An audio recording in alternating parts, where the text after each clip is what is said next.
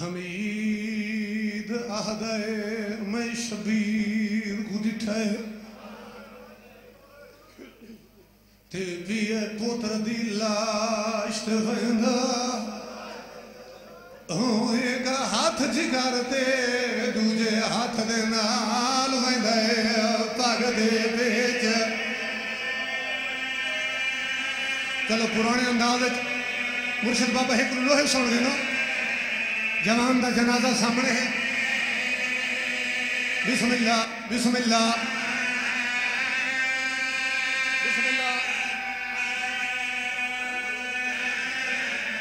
होएगा हाथ जिगर ते, दूजे हाथ दे नाल वंदे पग दे बेच। सदके थीवा मुर्शद बाबा अगर सारे इजाज़त दो तो पुराने अंदाज से लोहे सुनवावा। आबाद रामे हूँ मेरा भाई पढ़दया पे आए, जो अली अकबर की लाश से आए, पुत्र को औखा चाया रो के पसमैन मैं को अकबर हौसले देदा जुल मैं को देदा जुल कुछ बाबे अलैदा जुल अगे दहाड़ी तेरी अगे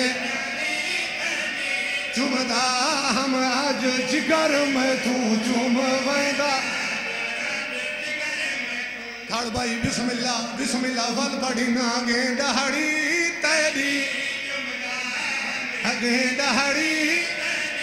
तेरी अगे दहाड़ी चुमदा हम आज जिगर में तू चुम वेंदा जुल। अगला वैन करा। रुने मेरा इमाम ते रो के पे फरमाइन तेरी मौत दा पुरसा कौन देसी तेरी? कौन देसी तू प्यू को खुद पर चाहता ਸੈਯਦਾਦਾ ਇਹ ਗੱਲ ਤਾਂ ਮੇਰੇ ਇਮਾਮ ਕੀਤੀ ਹੈ ਮੇਰੇ ਉੱਤੇ ਕਰੋ ਸਵਾਲ ਬੀਬੀਆਂ ਦੀ ਕੋਈ ਗੱਲ ਕੀਤੀ ਹੈ ਜਾਂ ਕੋਈ ਨਾ ਖੈਮਾ ਦੇ ਦਰ ਤੇ ਇੱਕ ਬੀਬੀ ਤੜਫੀ ਹੈ ਜ਼ੈਨ ਕਰਕੇ ਪਈ ਆਦੀ ਹੈ ਤੇਰੇ ਬਾਦ ਹੁਣ ਜੀ ਕੇ ਕਿਆ ਕਰਨਾ ਤੇਰੇ क्या करना फुफिया को नाल रला खड़ भाई अगर सारे इजाजत दो तो इमाम हुसैन हिक मरसिया हो ही पड़े तो कुछ सुनवा दे रोके पे फरमाइंदे ने अकबर चाहिए मैं अकबर मैं अकबर चाहिए दा मेरा लहे गया पुत्र जवान अकबर मैं अकबर आदा इंदे जिगार कुबर छी खा गई